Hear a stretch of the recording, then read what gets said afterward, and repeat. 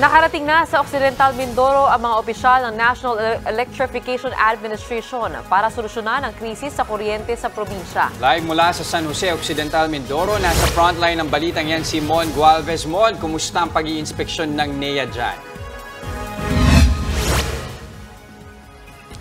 Yes, Jess at Gretchen, kasalukuyan na ngang nag-iikot at nag inspeksyon si National Electrification Administration Chief Antonio Almeda dito sa isang planta sa San Jose Occidental Mindoro. Sinusuri ng mga opisyal ng NEA kung paano ito makakatulong sa malawakang rotational brownout na nakakaapekto dito sa probinsya.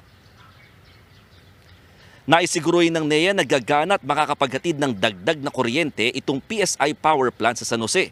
Inaasa nga abot sa 5 hanggang 6 na megawatts ang madadagdag ng naturang power plant sa supply ng kuryente sa probinsya. Kapag nagsimula ng operasyon nito, aabot na sa 17 hanggang 18 megawatts ang masusupply na kuryente sa probinsya mula sa kasalukuyang 12 megawatts lamang. Pero hindi pa rin ito sapat para tugunan yung 30 megawatts na kabuang demand ng buong Occidental Mindoro. Gayunman, makakatulong do kahit papano yung dagdag planta para mabawasan ng oras ng brownout sa probinsya. Siniguro naman ni NEA Chief Almeda na mabibigyan ng sapat na supply ng kuryente ang Occidental Mindoro at walang gagastusin para rito ang mga consumer. Nauna na rin sinabi ni Almeda na naglabas na ng Certificate of Exemption kaugnay sa Emergency Power Supply Agreement o EPSA. Sa ilalim kasi nito, papayagan ng gobyerno na pumasok sa panibagong kontrata para makahanap naman ng dagdag na power supply.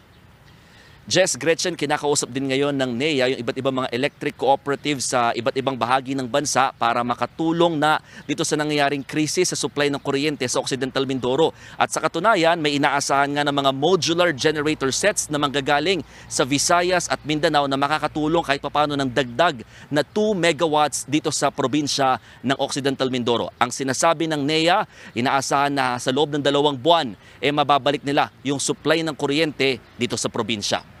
Jess Gretchen. Dalawang buwan, medyo mahaba-habang hintayin pa yan. Maraming salamat. Mon Gualvez nagulat mula sa Occidental Mindoro.